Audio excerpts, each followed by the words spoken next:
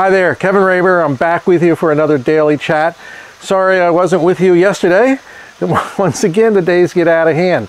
But I'm very excited to uh, share something with you today. I bought a new camera. Yep, I bought a new camera.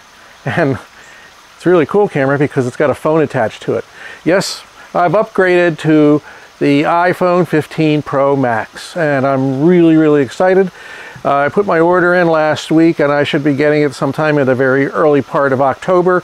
And uh, this is one thing uh, that I'm getting uh, new from Apple that I'm really excited about because uh, I see the possibility in the future in photography with the iPhone and this camera really is more about the photography aspect of things than it is the phone. I mean, the phone's a phone. You answer up the phone. You know, I got my iPhone 14 here and it does a great job and as far as photography goes uh, I count on it for a lot.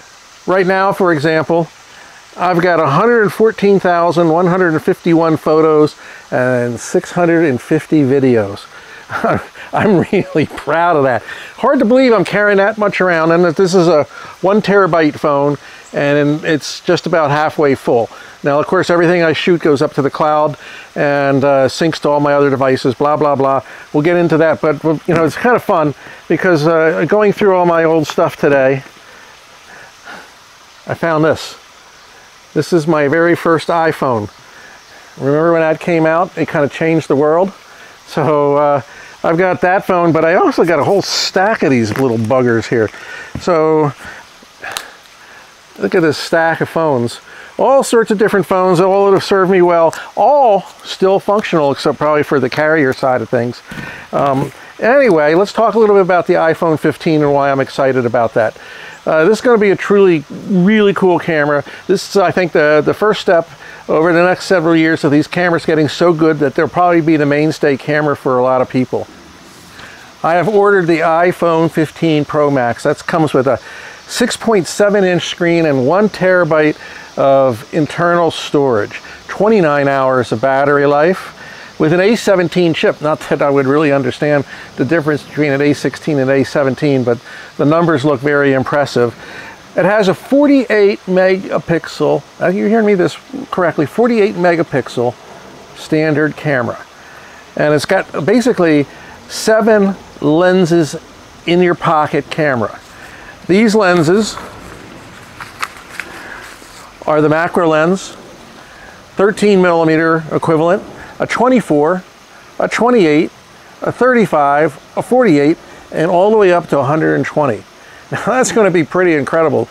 That's pretty much the standard shooting range of, um, you know, three lenses in a, in a mirrorless uh, kit at this point. So it's going to be really fun to have that uh, kind of capability, not to mention a macro capability.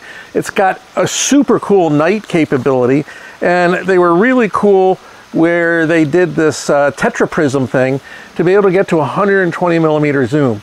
So essentially using a number of different uh, prisms inside the camera uh, they now can do up to 120 millimeter zoom and they can even go further on the digital zoom side of things. So this camera is going to be a blast to work with. It does a 48 megapixel HEIC format as well as the 48 megapixel Pro RAW.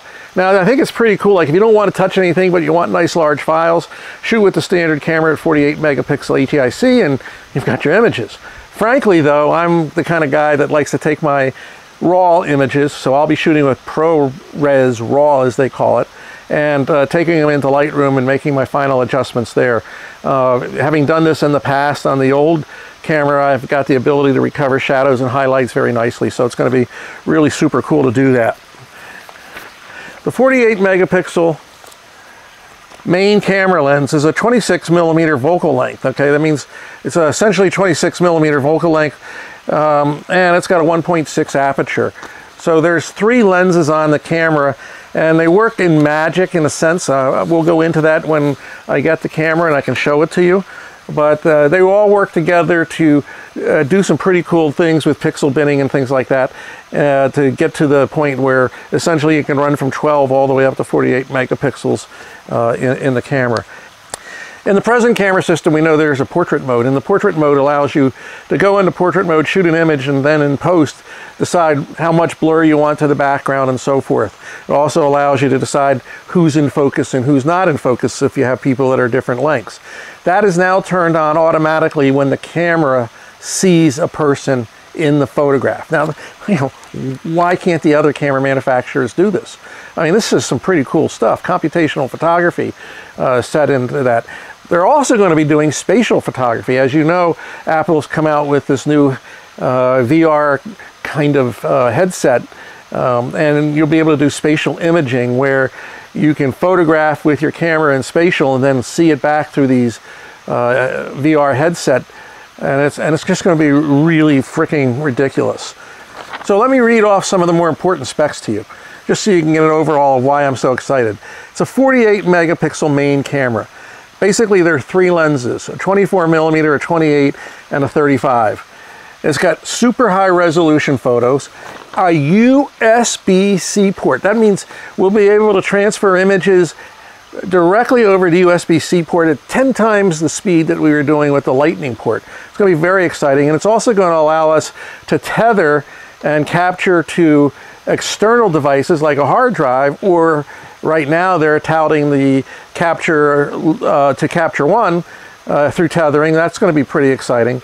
So we'll see where that develops in, the future. There are four cool colors that'll be coming in and always on display. It's made of titanium, super strong, super light, really beautiful looking finish. It's got all day battery life up to 29 hours a day. It's got a dynamic island in the uh, display.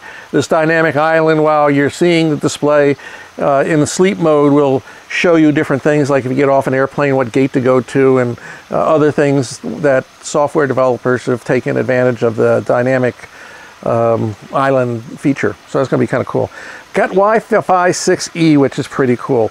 So that's going to mean you're going to get faster Wi-Fi. The next generation portrait system, which I told you about, I, am so excited to use that because if I'm taking pictures of family events and there's a lot of people in it, it automatically switches. In uh, post, I can automatically go and, and do some different uh, changes. It's got a whole bunch of great video features. Uh, I'm not so much the video guy, but I'm turning into one. Uh, so we'll tune in on those, but it even has a, a, log format so you can basically shoot a raw video and recover in post uh, dynamic range and so forth. But you know the images that I've seen video-wise off this camera in the HDR mode are just absolutely stunning. So I'm really, really excited. Um, can't wait for the next week or two to, to pass by so I can get my new camera. And when I do, you can be sure that I'm going to show you this new camera and maybe we'll touch on the phone and some of the other things that go along with it. So in the meantime, I'm going to use my phone the way it is. I'm going to shoot more pictures with it. We're going to be covering a lot of things with uh, iPhone and mobile device uh, software and use uh, in the, the coming months just because I see it as one of the, the futures and it's also the camera that we have with us all the time. Plus the third-party apps that are being developed are going to be absolutely super to take advantage of this uh, new, new camera system. So it's going to be really exciting to see where it is. Anyway, just wanted to share that with you. Uh, this is Kevin Raber, and this is the Daily Chat. Thanks for stopping by. If you got a moment, please hit the subscribe button. If you want to hit that little bell button too, that'll get you notified of new videos when we put them up. I want to say thank you for being part of the PXL family, and I'll see you tomorrow.